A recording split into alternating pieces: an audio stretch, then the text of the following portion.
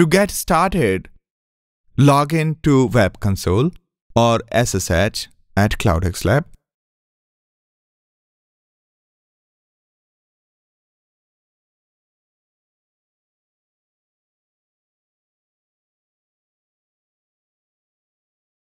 Type Zookeeper dash Client on the shell and press Enter.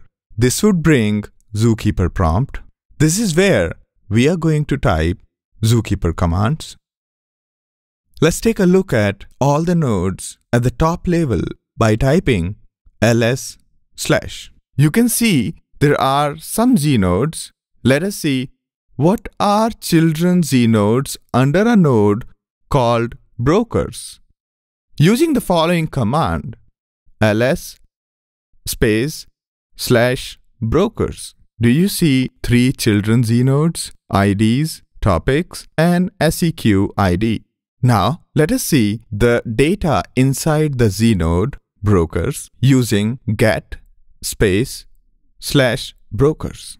You will see all of the details about the znode.